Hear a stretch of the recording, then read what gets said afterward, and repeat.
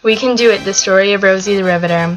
Rosie the Riveter was a cultural icon used in propaganda campaigns by the United States government with the goal of influencing women to join the workforce as well as the war effort during World War II.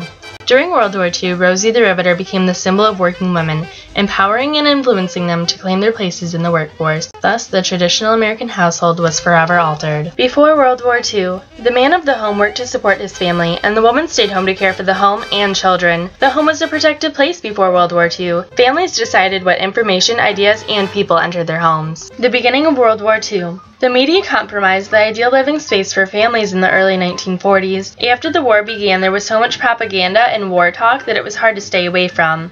The bombing of Pearl Harbor, Hawaii on December 7, 1941 dragged America into the Second World War and brought about many emotional responses. The first reaction to the bombing of Pearl Harbor was a sudden increase in marriages. During the days immediately after America joined World War II, the Cook County, Illinois clerk issued marriage licenses at two times the typical rate. Many young people got married after being in short relationships so they could be married before the husband would be shipped off to war. Bonds created between people who had only known each other for a short period of time were called furlough romances. The women with husbands at war, particularly the wives with no children who married shortly after America joined the World War, were referred to as war brides. Weight, worry, and loneliness came after the spontaneous marriage decisions and the departures of their husbands into the military. This depression state was referred to as the New Plague, most war brides ignored experts' advice to move back home with their parents. Many war brides spent time in bars as an attempt to subdue their depression. A Chicago priest during World War II commented on their new hobby and said, They are just trying to fill the time, I suppose, but they are developing habits that their husbands would not like to think of them having. The almost immediate departure of their husbands into the military delayed the creation of a traditional household, which created problems for the war brides. A Chicago consultant for the Chicago-based Association for Family Living recommended that war brides without children live and spend time with each other.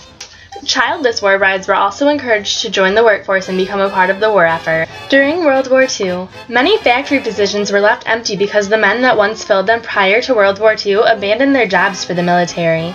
There was also a higher demand for factory workers because America needed war supplies. In order to meet the demand of factory workers needed, the American government used propaganda campaigns to influence women to claim their places in the workforce. One of the most popular, successful, and well-known government campaigns aimed at women during World War II was Rosie the Riveter. Rosie was a feminine, loyal, patriotic, smart, strong, pretty, and efficient woman. She was created in a way that would make women want to emulate her. She was a fictional character, a cultural icon, a symbol of feminism and patriotism, as well as a role model for all working women during World War II. The term Rosie the Riveter was first used in 1942 in the popular song Rosie the Riveter by the Four Vagabonds. The lyrics speak about how patriotic and hardworking she is. The song tells the story of the life of a common war bride. The song made Americans fall in love with the image of Rosie the Riveter. The first popular image of Rosie the Riveter was Norman Rockwell's depiction of the strong, patriotic woman who looked ready to work. The image first appeared on the cover of the Saturday Evening Post on May 29, 1943. What people believe to be the most popular depiction of Rosie the Riveter was created in 1942 by J. Howard Miller. It was created to be displayed in a select number of Westinghouse factories during a short period of time in 1943. Even though the poster wasn't popular until it resurfaced years later, it kept the image of Rosie the Riveter alive, and it is still recognized by Americans today. Rosie and her concept are so iconic that women in the workforce during World War II, particularly working in factories, were and are still often referred to as Rosies. Rosie expressed the economic power of women. She also influenced women to become a part of the workforce by expressing influential messages such as We Can Do It and stressing the political need for women to join the workforce. She was one of the most successful recruitment tools in United States history. As a result of the Rosie the Riveter propaganda campaign, the percentage of women in the workforce from the beginning of World War II to the end of World War II increased by 10%. Rosie commonly produced war supplies, specifically aircraft parts. She was usually depicted as a riveter in an aircraft factory, hence the name Rosie the Riveter. It is obvious that Rosie was a huge influence to women between the years of 1942 and 1945 because the aviation industry had the largest increase in female employees. Based on a survey taken in 1943, more than 310,000 women worked in the United States aircraft industry.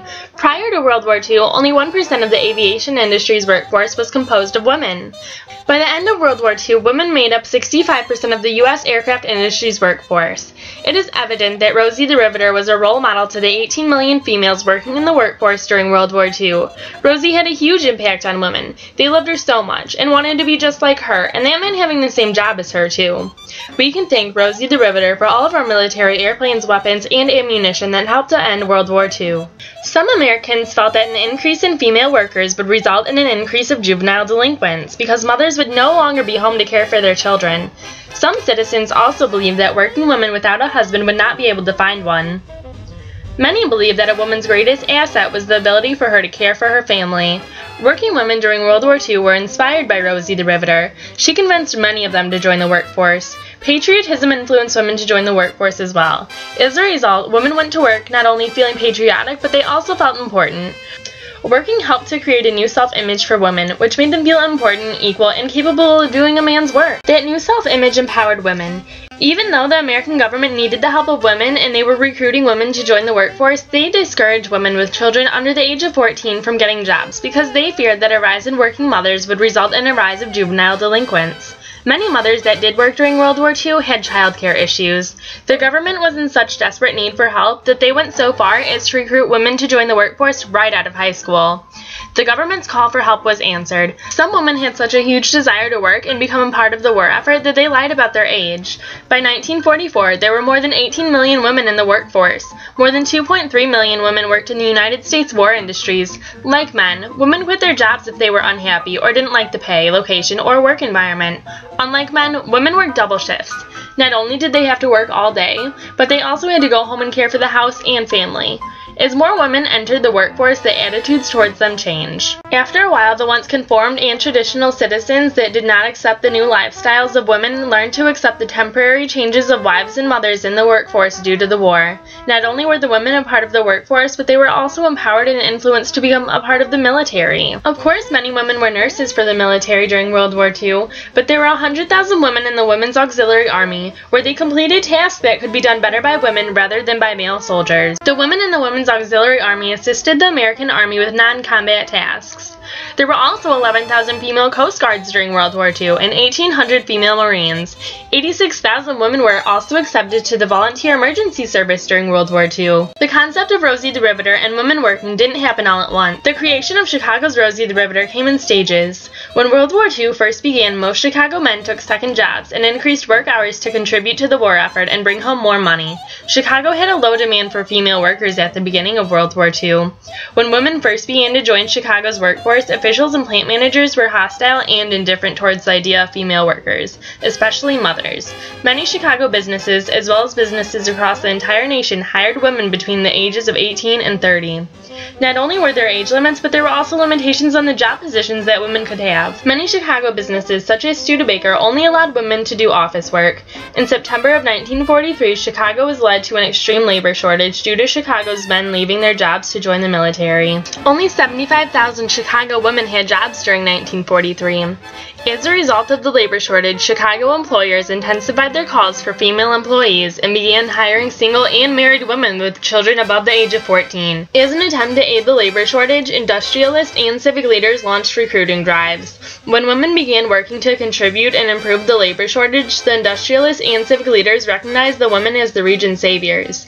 In February of 1944, Chicago's mayor, Edward J. Kelly, issued an appeal. The appeal was the first women's only recruiting call in Chicago's history. Chicago businesses that were desperate for new labor contracts took job recruiting to a new level that infringed on the privacy of women. One example would be door to door recruiting by North Chicago businesses, which occurred six days a week.